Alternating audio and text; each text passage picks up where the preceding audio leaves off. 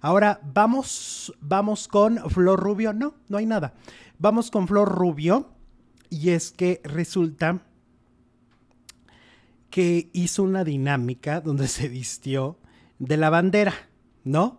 De este personaje de... de, ah, dije la bandera de que de México. La bandera. De, la bandera de Carla o de...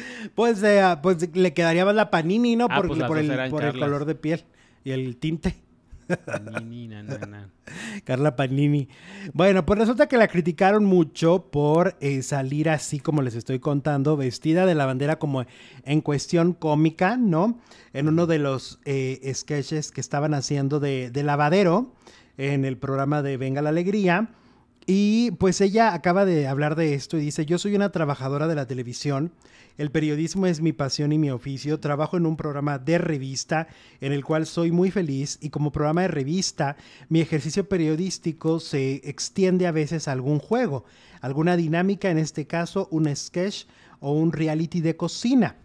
Eh, les diría que no me avergüenza hacer un sketch, que creo trabajar con dignidad, es hacerlo con disciplina, con respeto, este, atendiendo las necesidades de una producción y hacer lo mejor que puedas. Ya si gusta o no, esas decisiones las tomará la producción. Fue lo que dijo. Ella defiende su dignidad y dice, bueno, pues mi trabajo a veces se extiende porque es un matutino y no solamente pueden ir a informar. Ahora, yo digo que en el caso de Flor, no veo por qué tanto atacarla. A mí me parece que el que había sido siempre como muy eh, este, pues sí, una persona muy en contra de los matutinos fue Horacio Villalobos. claro, ya nunca lo Pero Flor no. Pero aparte, pues tienen un guion cada día y lo tienen que respetar, ¿no? Pues como dijo Bárbara Torres, hay un contrato. Claro. Y mira, em, Flor Rubio la conocimos todos en La Oreja. En La Oreja. Y en ese programa hacían muchas dinámicas chistosas. O sea, en ese programa, si no me equivoco, se disfrazaban en Halloween hacía muchas dinámicas con Tere la secretaria, que era como un momento de muchísimo humor. ¿Tú te acuerdas que Tere la secretaria iba y les daba cabezazos y les decía cosas? Y era humor, humor, humor, humor. Entonces, si ahí conocimos a Flor y conocimos esa parte que donde ella se presta a estas dinámicas, pues no es por ser abogado del diablo, ni por defenderla, es simplemente porque hay que ser justos. Y me parece que ella no tendría por qué perder, es que volvemos a lo mismo, ¿por qué va a perder credibilidad? ¿O por qué la van a criticar de algo que es aparte de su labor? Es su trabajo, es su trabajo divertir. A ver, Flor hace excelentes coberturas, hay que decirlo. Yo creo que desde mi punto de vista, de los que están en televisión, es la que mejor coberturas hace. Con todo y que llora, ¿eh? Me parece que es la que mejor coberturas hace. Es una mujer que hace muy bien su chamba, trabaja como loca y creo que merece, pues sí, eso, que, que la veamos desde, desde este ángulo, ¿no? Así que tú muy bien, Flor. De la bandera, de no la bandera, de la bandera mexicana, de la bandera eh. de Estados Unidos, de lo que sea, ¿no? Ella puede hacer lo que le da la gana. Rafael López nos manda 20 dolarotes. Hola, Rafa. Muchas gracias por tu super chat. Dice, hay dos muertes que me acuerdo de lo que estaba haciendo. La de Selena, que también yo me acuerdo, y la de Paco Stanley. ¿Y la de Colosio?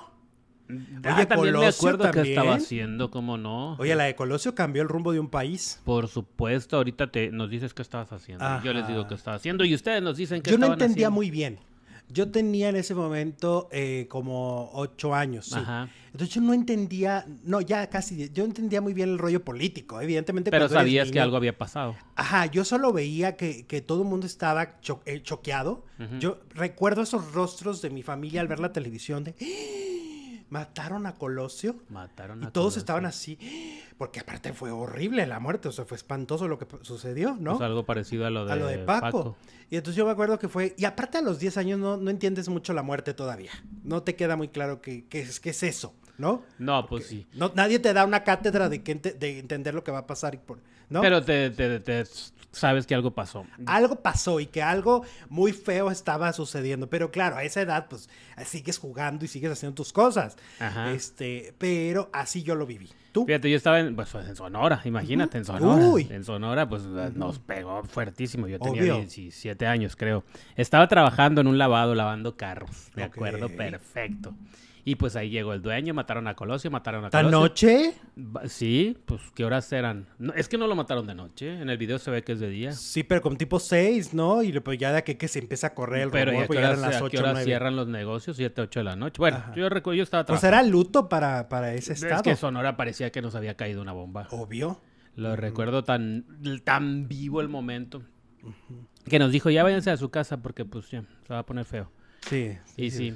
Sí, porque aparte y me fui a la casa sucede? y estaban todos así con las caras largas viendo las noticias. Que sí te empiezas a preguntar, o sea, como adulto, y a decir, ¿y, quién sigue? O sea, si un personaje así, un candidato a la presidencia, lo están matando ahí, frente a quién sabe cuántas personas alrededor, ¿qué va a seguir? ¿no? Que te, que te toca a ti. Bueno, no termino el mensaje de Rafa López. Dice, dos muertes que me acuerdo, Selena y Paco Stanley. Eh, de Selena llegaba de la primaria, lo miré con Abraham, el hijo de Jacobo, ok. Ajá, sí, eso ocurrió en la, mañana. Y de Paco yo vivía en Tijuana, soy originario de Guanajuato y estaba en la prepa. Claro, porque el de Selena ocurre en la mañanitita en el hotel. Yo me acordé en la noche en un antro. Digo, yo me yo lo supe te enteraste. en la noche en un antro. Ay, míralo. Bien parrandero.